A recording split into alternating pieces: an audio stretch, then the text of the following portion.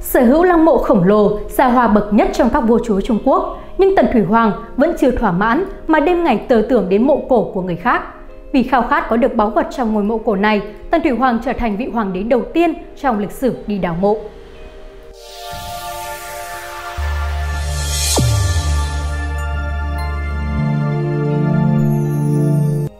Sau khi tiêu diệt 6 nước chư hầu và thành lập đế quốc Tần với lãnh thổ trải rộng khắp Trung Quốc, Tần Thủy Hoàng tự coi mình là vị vua vĩ đại nhất nên xưng là hoàng đế. Mải mê theo đuổi sự bất tử, Tần Thủy Hoàng vẫn không quên chuẩn bị cho cái chết của mình. Đương nhiên, lăng mộ của ông ta cũng phải là loại lớn bậc nhất. Ngay từ khi mới lên ngôi, Tần Thủy Hoàng đã nghĩ đến việc xây dựng lăng mộ cho mình. Quá trình xây dựng lăng mộ trên núi Ly Sơn, nay thuộc tỉnh Thiểm Tây Trung Quốc, cho Tần Thủy Hoàng kéo dài 38 năm, từ năm 246 đến 208 trước công nguyên. Theo sử ký của Tư Mã Thiên, 70 vạn nhân lực đã được huy động để xây dựng công trình này. Ngày nay, các nhà khảo cổ mới chỉ khám phá được lớp bên ngoài lăng mộ của Tần Thủy Hoàng.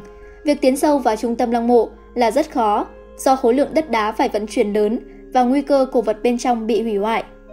Những bảo vật và châu báu bên trong lăng mộ của Tần Thủy Hoàng là thứ tên trộm mộ nào cũng ao ước. Nhưng chính vị hoàng đế này lại khao khát có được bảo vật ở một ngôi mộ khác. Sách Nguyên Hòa, quận huyện trí của nhà sử học tể tướng thời đường tên Lý Cát Phủ chép. Năm 219 trước công nguyên, Tần Thủy Hoàng đến Tô Châu thuộc tỉnh Giang Tô ngày nay, lệnh cho quân lính ra sức đào mộ của Ngô Hạp Lư để tìm bảo kiếm. Ngô Hạp Lư là vua đời thứ 24 của nước Ngô, được xếp vào nhóm ngũ bá, năm vị vua có sự nghiệp lẫy lừng, được coi là bá chủ, thời Xuân Thu trong lịch sử Trung Quốc. Thủy Hoàng sai người đào núi tìm mộ Hạp Lư, nhưng đào mãi không thấy đành phải quay về, Lý Cát Phủ chép. Theo Đông Chu Liệt Quốc, sau khi Hạp Lư chết đi, thi thể của ông được chôn dưới lăng mộ cùng 3.000 thanh bảo kiếm, trong đó có một số thanh thần kiếm có 102. Đây là thứ Tần Tỷ Hoàng áo ước có được khi cho đào mộ Hạp Lư. Hạp Lư 514 trước công nguyên đến 496 trước công nguyên, tên thật là Cơ Quang, làm vua đời thứ 24 của nước Ngô. Ông có hai trọng thần là Ngũ Tử Tư và Tôn Vũ, đều nổi tiếng trong sử sách về tài năng. Trong đó, Tôn Vũ là nhà quân sự kiệt xuất, đã viết ra cuốn Binh Pháp Tôn Tử, nổi tiếng thế giới. Hạp Lư cũng là người sở hữu hai thanh bảo kiếm nổi tiếng bậc nhất lịch sử Trung Quốc là Ngư Trường và Mạc Tà. Mỗi thanh kiếm giúp ông tiến thêm một bậc trên con đường trở thành bá chủ. Theo Đông Chu Liệt Quốc, năm 523 trước công nguyên, tướng nước sở là Ngũ Tử Tư bỏ trốn sang nước Ngô, được Hạp Lư thu dụng. Hạp Lư muốn giết vua Ngô là Ngô Liêu để cướp ngôi. Ngũ Tử Tư cho rằng chỉ có một người tên chuyên trư đủ bản lĩnh làm được điều này. Năm 515 trước công nguyên, nhân lúc quân chủ lực Ngô đang mải đánh nhau ở nước Sở, Hạp Lư bày kế mời Ngô Liêu tới nhà dùng tiệc, nhân lúc rượu say thì ám sát. Ngô Liêu vốn nghi ngờ dã tâm của Hạp Lư đã lâu nên đi dự tiệc mà vẫn mặc theo ba lớp áo giáp, đem 100 dũng sĩ theo hầu. Giữa lúc kế hoạch ám sát có nguy cơ đổ bể, Ngũ Tử Tư hiến kế để chuyên chư dùng thanh ngư trường sắc bén đâm chết Ngô Liêu. Hạp Lư nói, ngày xưa vua Việt sai Âu Giã Tử, bậc thầy rèn kiếm giỏi nhất lịch sử Trung Quốc, rèn năm thanh kiếm, đem ba thanh dâng nước ngô là chạm lư, bản xính và ngư trường. Thanh ngư trường tuy nhỏ mà sắc bén, chém sắt như chém bùn, ta vẫn coi như báu vật, không nỡ đem dùng. Nhưng mấy đêm nay kiếm ấy cứ sáng rực lên, át hẳn nó muốn uống máu của ngô liêu chăng?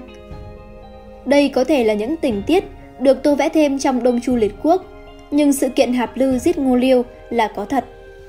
Theo Đông Chu Liệt Quốc, biết Ngô Liêu thích ăn cá, chuyên chư giấu thành ngư trường vào bụng một con cá to dâng lên. Khi tới gần Ngô Liêu, chuyên chư rút kiếm ngư trường ra đâm. Quả nhiên, xuyên thủng ba lớp áo giáp. Chuyên chư giết vua, bị đám vệ sĩ xuống lại băm nát như tương. Hạp Lư biết tin Ngô Liêu đã chết, nên cùng ngũ tử tư dẫn quân cướp ngôi, không ai dám ngăn cản. Năm 514 trước công nguyên, Hạp Lư muốn cất quân đánh sở, nhưng lực lượng giữa Ngô và Sở quá chênh lệch. Tôn Vũ cho rằng phép dụng binh quan trọng nhất là sự tinh nhuệ, không cần đông, điều trước mắt là cần huấn luyện binh sĩ và nâng cấp chất lượng vũ khí cho nước Ngô. Hạp Lư khen là phải, truyền lệnh trọng thưởng cho thợ rèn giỏi trong dân gian để đúc được nhiều kiếm tốt. Sách Ngô Việt Xuân Thu phần Hạp Lư nội truyện chép, Hạp Lư thu dụng thợ rèn giỏi trong dân gian, đúc ra 3.000 thanh kiếm tốt, đều đặt tên là Biển Trư. Có thuyết nói thanh tốt nhất trong số kiếm này mới được gọi là Biển Trư, cất làm của riêng. Hạp Lư lại tìm được một người nước ngô tên Can Tương, học trò giỏi nhất của Âu Giã Tử, sai đúc kiếm báu. Tương truyền, can tương chọn ngày giờ tốt, đốt lò ngày đêm suốt 3 tháng dòng dã, mà vàng, sắt và đồng đều không bị nung chảy. Người vợ tên Mạc Tà bèn nhảy vào lò lửa để tế. Can tương bấy giờ mới luyện thành được hai thanh kiếm quý, người đời sau đặt tên cho kiếm là Mạc Tà và Can Tương. Can Tương chỉ dâng cho Hạp Lưu thanh Mạc Tà, giấu kiếm Can Tương đi. Hạp Lư cần kiếm chém thử vào tảng đá lớn, tảng đá liền vỡ làm đôi. Hạp Lư mừng rỡ, thưởng cho Can Tương 100 nén vàng.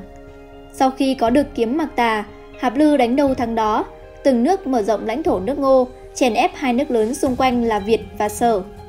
Theo Đông Chu Liệt Quốc, năm 512 trước công nguyên, Hạp Lư cùng hai trọng thần là Ngũ Tử Tư và Tôn Vũ cất quân đánh Sở.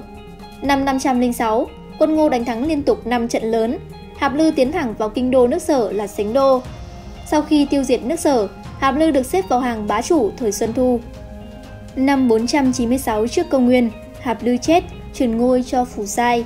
Theo Ngô Việt Xuân Thu, thi thể Hạp Lư được chôn cùng 3.000 bảo kiếm dưới đáy một hồ nước lớn ở chân núi Hổ Châu, Tô Châu. Hồ nước này sau được người dân gọi là Hồ Kiếm. Sách Việt tuyệt thư chép, mộ Hạp Lư dưới lòng Hồ Kiếm, nước sâu một thượng năm thước, khoảng 5 mét.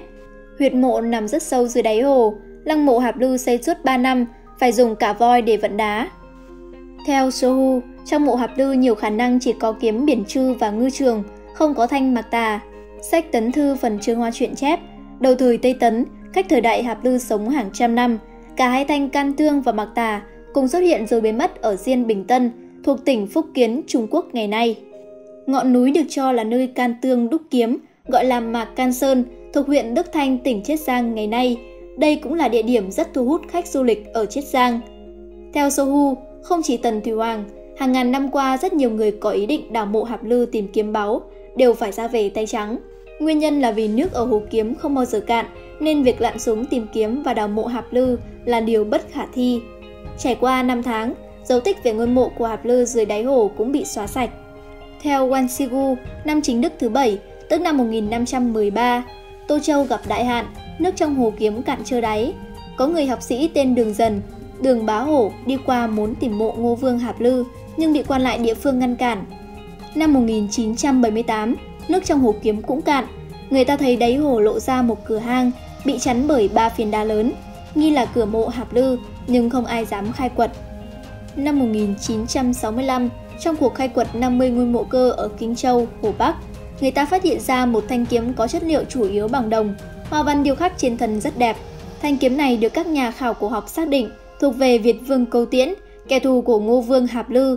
Trải qua hàng ngàn năm chôn dưới mộ cổ, kiếm của Câu Tiễn vẫn sáng bóng và sắc bén lạ thường. Một số chuyên gia cho rằng thanh kiếm này do chính tay Âu Giã Tử luyện thành.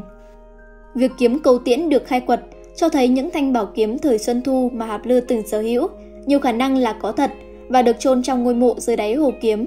Tương truyền, Tần Thủy Hoàng cũng có một thanh bảo kiếm chém sắt như chém bùn tên Thái A. Điều trùng hợp là kiếm Thái A cũng được rèn bởi một người thợ ở Giang Tô. Năm 1994, Trung Quốc đã tổ chức khai quật lăng mộ Tần Thủy Hoàng lần thứ hai. Trong lần khai quật này, người ta tìm thấy nhiều thanh kiếm bằng đồng với hình dáng và hoa văn khác nhau. Giống như kiếm Cầu tiễn, những thanh kiếm trong lăng mộ Tần Thủy Hoàng vẫn giữ được sự sắc bén dù bị chôn dưới đất hàng ngàn năm. Điều này cho thấy Tuần Thủy Hoàng là người rất yêu kiếm, khi chết cũng muốn được chôn cất cùng bảo kiếm giống như Hạp Lư.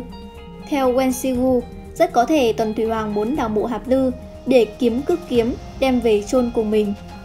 Năm 1995, sau khi giúp cạn nước hồ kiếm bằng máy bơm công nghiệp và thăm dò địa chất, các chuyên gia Trung Quốc xác định dưới hồ kiếm rất có thể có mộ của Ngô Vương Hạp Lư nhưng không thể khai quật được bởi nền địa chất của núi Hồ Khẩu rất yếu. Nếu đào mộ Hạp Lư, ngôi đền Hồ Khẩu xây từ thời Tống ở phía trên cũng sẽ đổ sập. Chính quyền Giang Tô vì vậy mà cấm toàn bộ hoạt động thăm dò mộ Hạp Lư để tìm bảo kiếm. Ngôi mộ của vị bá chủ lừng lẫy thời Xuân Thu vì thế mãi chìm vào bí ẩn. Quý vị và các bạn đang theo dõi trên kênh Tiền đề lịch sử. Nếu thấy số này hay, đừng quên bấm like, share để lan tỏa thông tin ý nghĩa này và nhấn subscribe kênh Tiền đề lịch sử để nhận thêm nhiều thông tin lịch sử bổ ích. Còn bây giờ, xin chào và hẹn gặp lại!